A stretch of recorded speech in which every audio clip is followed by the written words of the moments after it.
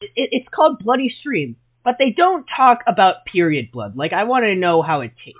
I want to know. I want to know how um the I want to know how Joseph Joestar got his first period. I Like- want to suck somebody dry. No,